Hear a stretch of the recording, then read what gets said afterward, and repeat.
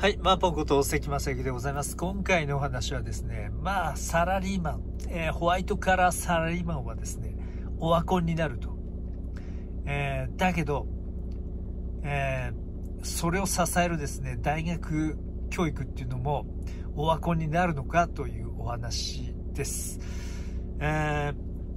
今ですね、まあ、11月のですね、5日で、まあ、そろそろですね、アメリカの方で、えー、投票が始まりますね。大統領選挙ね。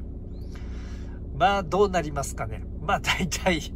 まあ、大体分かってるんですよね。まあ、あの、まあ、得票数では、まあ、トランプ、トラさんなんだけど、まあ、あれでしょうね。あの、勝つのはカマラ・ハリスになるんでしょうね。まあ、反則技はもう出るわけですよ。ね。反則技でね、行くんじゃないですか。まあ、そうなると、大混乱すんじゃないの？大、もう、黙っちゃいないでしょ？ねえ。えー、まあ、これから大混乱起こってくるんじゃないの？内戦みたいな話になるかもしれないよね。まあ、内戦っていうか、シビルワーには、まあ、ならなくて、えー、もしかしたらワシントン対市民という話になるかもしれないね。まあ、あの、あと、セントラルアメリカ、ウエストアメリカ、イーストアメリカって3つに割れるかもしれないよね。まあ、セントラルアメリカと、えー、シーサイドアメリカ、2つかもしれないけどね。まあ、セントラルアメリカの、まあ、首都が、あれだよね、多分、テキサスとか、ね、なるんじゃないかな。まあ、テキサスか、えー、もしくはあれだよね、フロリダになるかもしれないよね。まあいいやね。まあそれはね。まあ、えー、まあちょっと話は戻るんですけど、まあ話本題に行くんですけど、まああの、まあ AI 出てきてね、あの、ホワイトカラー、オワコン化していくっていうのは、まあ目に見えてますよね。うん。その、今まで知的、えっ、ー、と、労働者ですね。まあ彼らを支えていたのは何かっていうと、まあ大、大学教育が、えー、支えてたっていうか、まあその、まあ絶対条件じゃないんだけど、ある程度大、大卒であるっていうことが、まあそこに行くのに、まあ まあ早い話、まあ有利なわけですね。うん。まあそういう、高い学歴なればなるほど、まあ有利になるんですよね。そこの、まあいいポジションにつくにはね、そのホワイトから。それがオワコンになる。まあその、取って変わっていくわけですね。あの、AI がね。まあ、昨日ちょっとですね、動画で200ドル、200、えー、2万ドルでですね、テスラが、その、首都型の二足歩行、あの、汎用ロボットを出すみたいな、売り出すみたいな話ですよね。まあ、日本円で300万円ですね。いや、それだったらね、僕も買いたいですね。それぐらいな、だったら。それで、ある程度の、ね、あの、雑用みたいなこともやってくれるんだったらいいんじゃないですか？ねで、家庭にさ、そういうロボットがいて、ねあの、まあ、自分がめんどくさいことをやってくれると、まあ、仕事もやってくれるってなれば、いいですよね。まあ、2、300万なんか簡単にほど回収できますよね。それね。仕事上のことでもね。うん。まあ、まあ、そ、だから職場にロボット入ってきたりとか、あの、この書、こうこういうの調べて、まあ、こういうデータ作って、ってとか、そう表にして、その、まあ、例えば債権管理だと、まあ、この人が、誰が今、あの、金払ってないのか、ちょっと確認しろ、してくださいと。で、電話かけてください、みたいな。ね、そういう一連の話、えー、してるね。もう、もういらないよね、その、従業員なんかね。うん。で、それで、まあ、あの、最初の初期投資だけでさ、あと電気代だけで、どんどん働いてくれるんでしょまあ、全然いいっすよね。まあ、そう、まあ、そうなっていくんでしょうね、どんどんどん、どんどんね。ね。えー、まあ、まあ、最初はいろいろトラブルあるかもしれないんだけど、まあ、いろいろとですね、まあ、そうなってきた時に、本当ホワイトカラー、オワコンになってきますよね。まあ、この、まあ、オワコンにな、まあ、あれですよね、最初にオワコンになったのって、あれですよね、証券トレーダーなんてあれだよね、もうワコン、もうだいぶ10年ぐらい前、もっと前じゃない、15年ぐらい前もうワコン化したよね。あのー、昔ね、証券トレーダーってすごく、ね、あのー、まあ、金稼いでるね。まあ、証券会社だとか投資銀行で、あの、自己勘定部門っていうのがあるんでね、あの、自分、あの、ね、あの、その株の売買手数料で売り上げを立てるのが本当は、えー、まあ、その証券会社とかの、あのメインの仕事なんだけど、自分の資産を使って、この投資して、この稼いでいくっていうね、えー、まあ、それはあの、あのトレーダーから、あの、この AI に変わったわけですよね。あの、その自動、自動、あの、売買っていうのが可能になって、それで、まあ、あの、証券トレーダーなんて、もう聞かないですよね、そんなね。ね、あれ、ただ結構ね、あの、そう、成績良ければ何億っていうかね、ね、儲けてましたよね。もう、オワコンですよね。まあそういうことですね。まあそういう人たちがまた自分でやり始め、ね、自分独立してこの証券取る、でやってまた儲けるっていうのもあるんだけど、まあ、まあまあそれはともかくとしてですね、まあこれからそういうことですね。あとこの、調査の仕事だとか、のコンサルタントの仕事だとかさ、ねえ、えっ、と、弁護士の仕事なんかも、まあだ、だいぶなくなるじゃないですか。ねえー、ホーム、とかね、まあ、人事の仕事だとか、会計、会計なんてもう、もう、ほんとなくなると思うよ。で、あの、AI ロボットにさ、ほんと領収書なりデータを渡せば、もう瞬時にして、その、仕分けして、その決算書作ったりするわけじゃないですか。ね。まあ、それだ、どんどんホワイトカラーね、えー、まあ、いらなくなる、えー、ということですね、人間のね。まあ、あの、特にですね、文系の人たちですよね。うん、特にあの法学部だとか、経済学部出てるような人たちとか、ね、あの人たちが、あと会計だとかね、経営学とか、あそこら辺ですよ。あそこら辺の、あの、人たちは、そまあそういうとこ出ると、そのホワイトカラーになったわけでね、そういう。えー、まあ理、理系の、あの、あれもそうかもね、理系の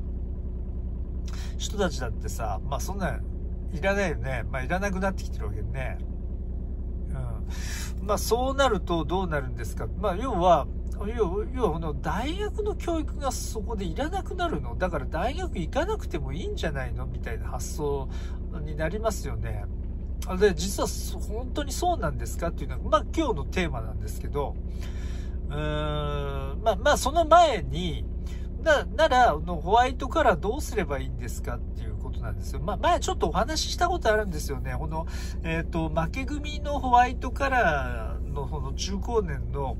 あのなんていうかな、もう敗者復活、最後の敗者復活戦で、なんか資格取りに行くんだよね。あの、多くの人たちが、あの、行政書士だとかさ、司法書士だとか、弁護士だとかさ、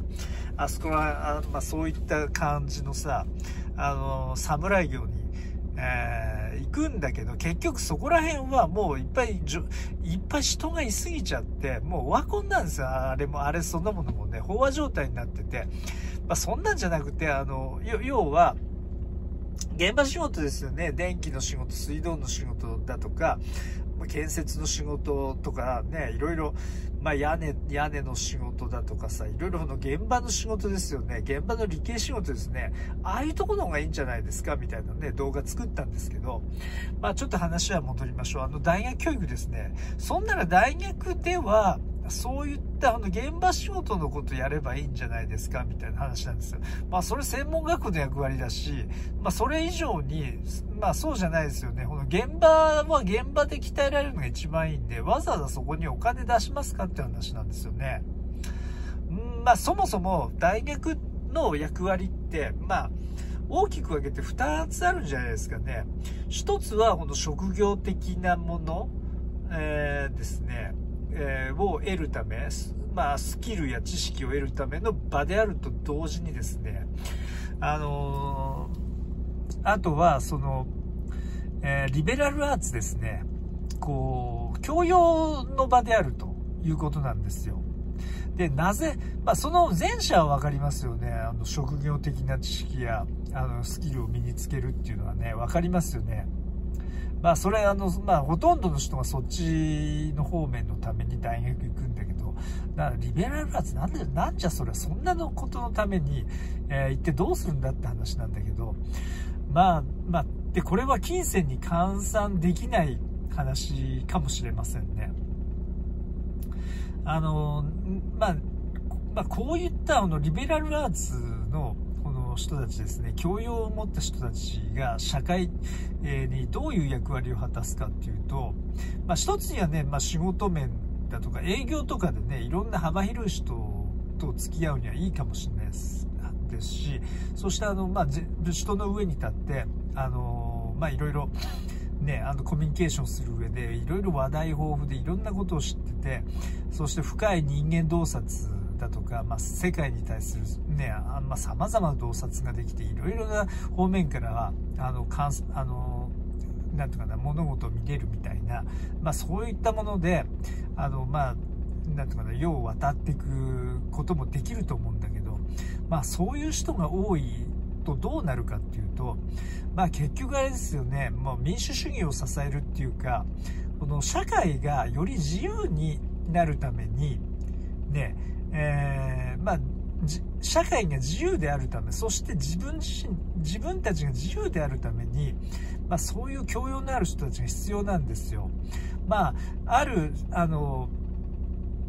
あのまあ、ある見方があればその対局の見方をしたりそして議論してあの内容を深めていくと、えー、まあ、テーマを深めていってより深い、えー、まあ、ものの見方多角的な見方をすることによってまあいろいろ相対化していくわけですよね。世の中いや、まあ、そういう見方もあるんだけどこういう見方もあるんじゃないか、ねそうまあ、そういうことで、まあ、あの社会の自由って保たれるわけですよ。人々の尊厳なんかも保たれるわけですよ。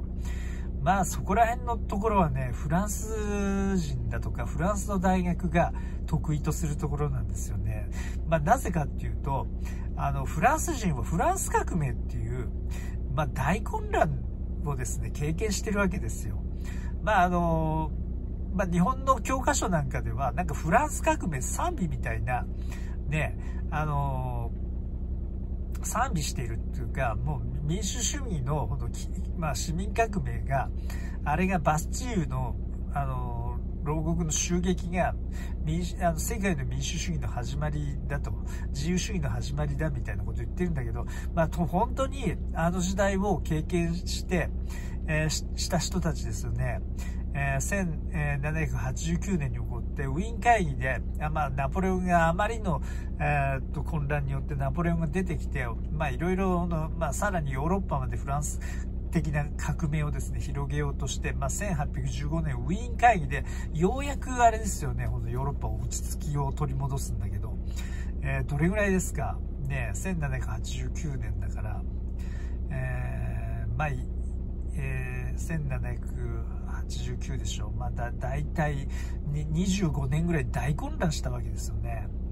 ね、いろいろ、まあ、あの、戦争なんかもたくさん起こったんで、革命も起こったけど、戦争なんかも起こったし、まあ、それであの、恐怖政治なんかがありましたからね。まあ、それをあまあ、フランス人ね、あれトラウマになってるんですよ。ねまあ、ああいうことって、起こしちゃいけないって実はフランス人思ってて、まあ、それをあのー、起こさないがために、やはり教養の高い、まあ、いろいろ議論をして、いろんな見方をできる人たちを作って、その、まあ、さ、まあ、一つの意見に流されない社会っていうのが必要じゃないかっていうことで、まあ、そういってあの、まあ、特に哲学なんか、あれでね、フランスは盛んですよね。まあ、まあ、第二次世界大戦後っていうと、もうフランスが哲学のまあ、メッカっていうか主流、今でもそうですよね。あの、サルトルから始まってさ、レヴィストロース、あとポスト、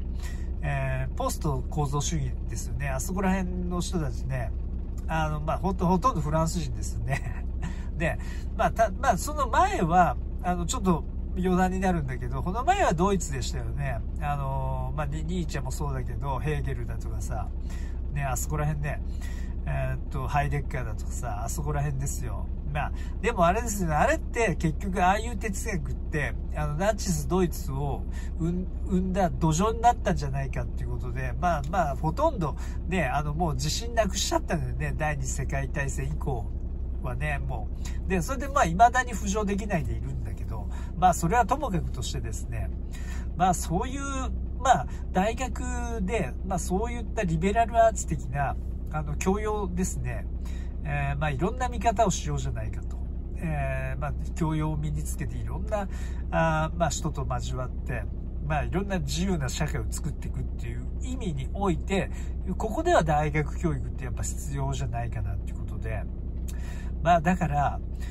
オワコンにはならないんじゃないかなと思いますね、私はね。えー、で、これから、あの、子供たちにどういう、まあ子供たちが、ちっちゃな子供たちがいるお父さんお母さんね、まあ、どう、どうするかっていう話ですよね。サラリーマンオワコンになるんだったら、ね、なんか、まあ、塾行かせたりとかさ、でして、なんかもう学歴学歴みたいの無駄じゃないのかなと思うかもしれないんだけど、まあ、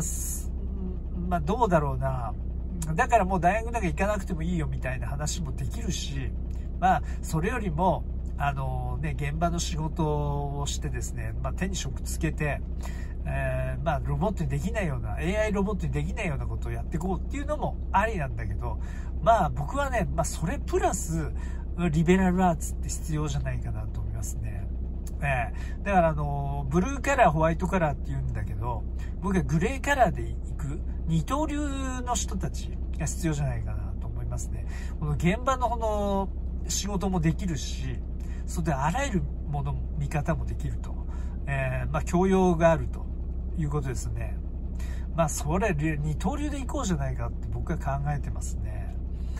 で、まあまあまさにあの、もう私そんな感じ、グレーカラー路線ですね。で、これからは、あれですね、あの、AI と競争するか、AI を使うかの人間になっていくんですよ。だどっちかですよ。えまあ大体 AI と競争したらもう負けですよ、最終的にね。だから AI を使い側になるっていうことは、ボスになるってことなんでね。で、使い側な、やっぱ生き残るには、やっぱあれですね、まあ、あの、起業するスキルって必要なんですよ。